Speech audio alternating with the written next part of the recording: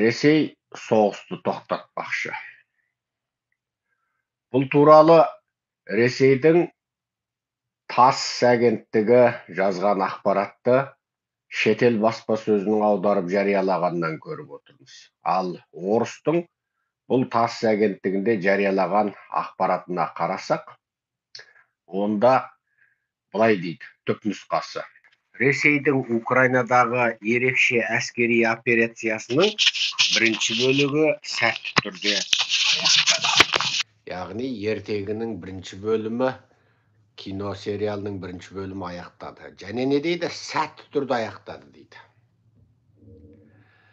Енді осы ақпаратты қазір анализ жасап қарасақ ресей бұны соғыс демейді. Үнемі ерекше әскери операция дейді.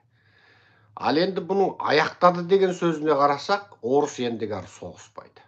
Бірақ бірінші бөлігі дегеніне қарасақ онда орыс басқа жерде соғысуы мүмкін ба? Мысалы украинаның ашық теңізі бар. Оған еуропа мен нато америка тіке әскери көмегін бере алады. Ал тіке еуропа америкадан көмек келе алмайтын қазақстанда соғыс ашуы мүмкін ба?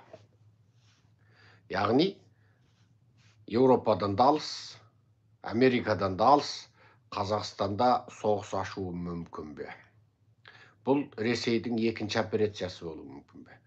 Анау өлім қапқыр жириновскийдің орнына шыға келген анау қушиған чиксар неменің қазақстанда не, деназификация жасау яғни нацисттендіру нацистік күштерден арылту дейтін мәлімдемесі деназификация жасау керек дейтіні айдалада жатып айдаладағы қазақстанға келіккісі келетіні анау газмановтың қазақстан наш деп путиннің алдыңғы жұмада өткен жиналысында ән айтқаны.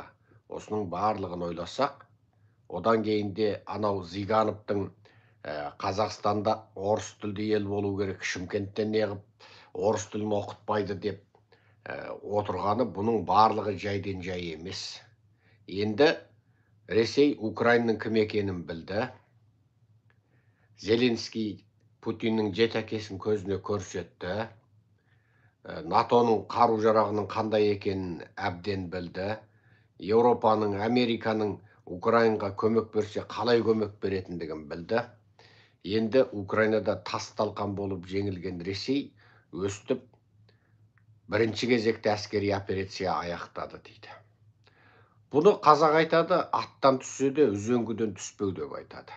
Яғни ресей шын мәнінде украинада тас талқан болып жеңілгенін ішкі жағынан ішкі элитасы мойындады.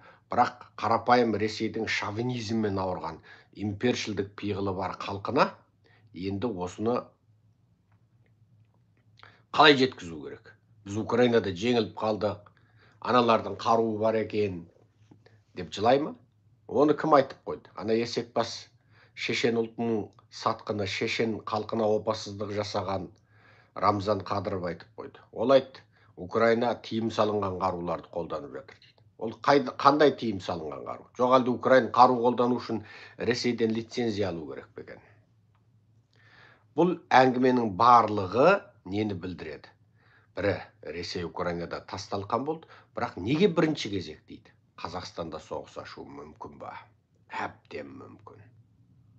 Әбден мүмкін. Немесе қазақстанда тоқаев өзінің енді басыбайлы құлы сол тоқаевтың қолыменен біз қазақстан ресейге қосылдық деген мәлімдеме жариялама.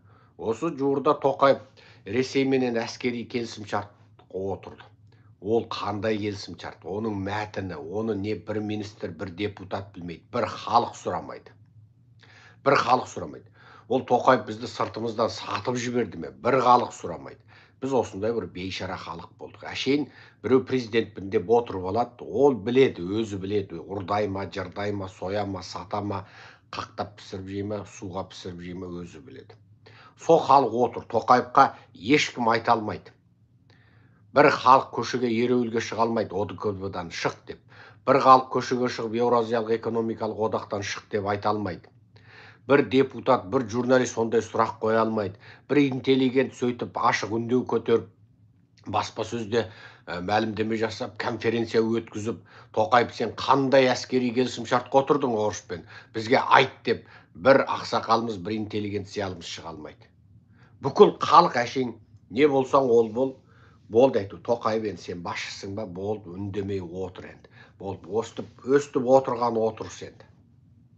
Ол тоқаев қандай келісімшартқа отырды ресеймен тығыз әскери қарым қатынас келісімшартына отырды деп бір бүйтіп елеусіз қылып газеттің бір жеріне жазып қояды міне енді сол келісімшарттың аясында ресей басы бүтін қазақстанды иелігіне алып тіпті ауданның ауылдың әкіміне дейін орыс сайлауы мүмкін. Неге біздің ютубте бір видео жарияладық? Ресей қарулы күштері ресей қарулы полициясы қазақстанда неғып жүрді? Кәдімгі ресей полициясы. Бәленбай техника газелі бар анауы бар мынауы бар. Бәленбай полиция қазақ жерінде жүр. Бұның барлығы айналып келген кезде қазақтарды ойландыру керек. Екінші бір тұрғыдан айтайық.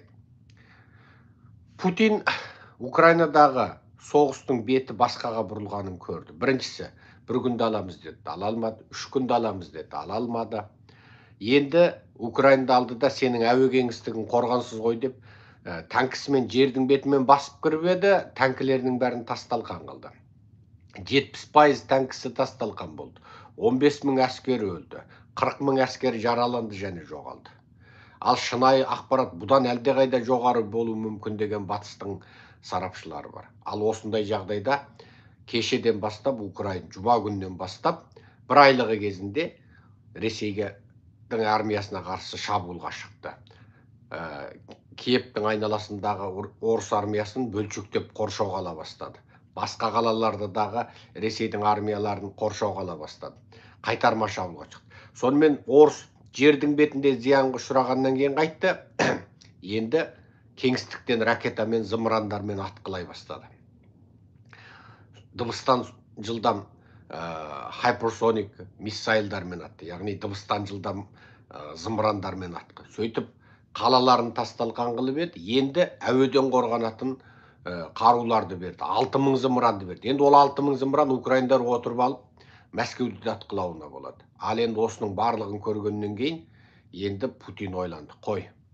Путиннің қорыққаны донецкіде луганскіде украин жаққа өтіп кете ме деп қорқып отыр бұл бір екінші украиндар осы шабуылда шабуылдап отырып донецк луганскіні қайтарып алу мүмкін ба ең сұмдығы қырымды қайтарып алу мүмкін ба деген путиннің алаңдауы бар ал егер қырымды алса онда сегіз жылдан бері біз ресейге жер қостық қырым деген өте маңызды порт ә, ресейдегі бірден бір қыста қатпайтын порт бірден бір ә, жаңа қара теңіздегі әскери ә, маңызы бар жер стратегиялық маңызы бар жер деп халқының санасына өстіп сіңдіріп отырған ә, путин енді қырымнан айырылса онда мүлде масқара болмақ.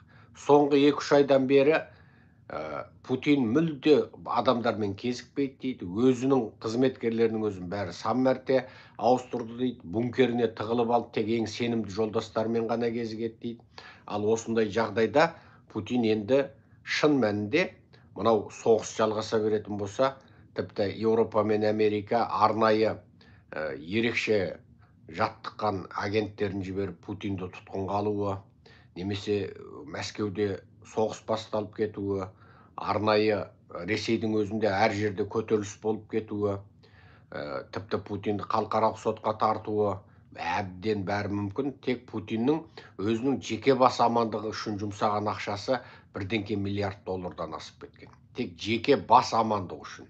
Енді осының барлығын айта келе путин болды. Қалаларын қираттым. Бәленбай миллион халқы 5 миллион ба қанша 6 миллион халқы босып кетті. Ә, біраз қаласын жермен жексен қылдым. Енді натоға қатыспаймын деп украина айтты натоға кірмейтін болды. Осының өзі жеңіс деп путин осы қазірге дейінгі жеңісін қырғындаған халықты қираған қаланы натоға кірмеймін деген уәдені бәрін алып алып сонымен путин енді осыға, осы да жетерлік. Енді кімде кім орысқа қарсы нетсе орыс өзін аямайды өзіне қарсы шыққанды аямайды өзінің халқы қынадай қырылса да бүкіл техникасы тасталқан болса да оны да құртпай тынбайды.